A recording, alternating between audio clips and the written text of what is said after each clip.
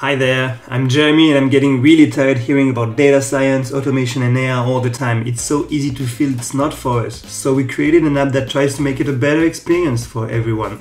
Make it easier for people to do data mining, scripting, storytelling with the power of Jupyter notebooks and our low-code formulas.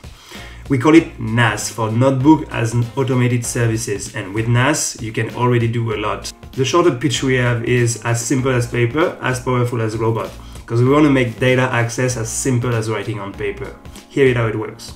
Our use case here will be that I want to start trading. This is about investing in companies you, you believe in. And uh, it's not about making money fast, it's about entering and buying the stock at the best price. Uh, here, you have a lot of data in Yahoo, but it's really messy and can be really overwhelming. So we build a use case on this stock follow-up. So my first concern when it comes to trading is that I don't have so much time. I just want a first reminder that tells me every day to look at it. So let's try to build the first email. Um, this is a feature that is possible in Naas with a few lines of code. You just need to import Naas, build your email, uh, destination, subject, content, a little HTML or, or, a simple text will help you. And this is uh, the kind of way you can send a simple notification with a Naas feature uh, calling your email subject and content and scheduling every day at 9 this little email. So we're going to run it and you can you can see that here you have your uh, reminder, the call to action for looking at the page. But this is probably not enough. You want to dig into the data and focus on one strategy that most of the traders are using, which is the moving average strategy. It helps you know if the trend of the stock is going up or going down. So basically, if the curve of the 20 moving average is upper than the 50, you should buy. If the 50 is above the 20, you should sell. Uh, taking back the stock from Yahoo and uh, calculating the moving average, visualizing it with the plotting library. And here I can see that when 20 moving average is above 50, then it's going up. When 50 is uh, above the 20, then it's going down. Maybe I want to know also what the market is thinking of Tesla today. So you can get uh, the data from their API. We will use the text column to make a sentiment analysis. Today the sentiment is positive and the score is 0.1. Now that we have our actual data with the moving averages, our scoring of the news and our um, prediction of the future, we want to build an automated brief that will send us those information every day.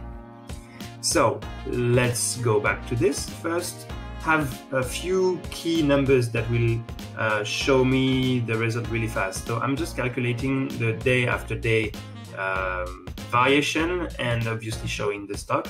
I will use those values inside my emails. Then I want to expose those different assets to make it available outside my Naas. And I will code the result of the other notebooks that I've been using. Uh, the positive sentiment, the result of the prediction, to create my beautiful email. By running this series of notebooks, interconnected notebooks, I will get an email like this. A beautiful email that will show me the stock, the variation, and um, the sentiment, the actual data, prediction data, possibility to go directly on my eToro page to trade, um, getting some really cool information about the latest news, and also being able to look at the chart in full screen to focus on my next move. But sending it to myself is a bit selfish, don't you think? So we made it also very accessible and easy to build that sort of HTML. You could see that we post to a notebook. Uh, we have here uh, an exposition of uh, the page to make it accessible to the outside world. Uh, you can have your OK page that signify that you have a success and you can get an ad subscriber to your base. This could uh, enable you to send it to everybody and without doing anything more than maintaining this little list of notebooks. In the in the future, and we are hoping that Uh, this is going to be a cool stuff to develop with the community. We hope to do automated trading with the eToro and Alpaca. This was a really fast-paced video. I hope you like it. Get yourself a Naas, enter the community, hit the subscribe button, and be ready because more things are coming next.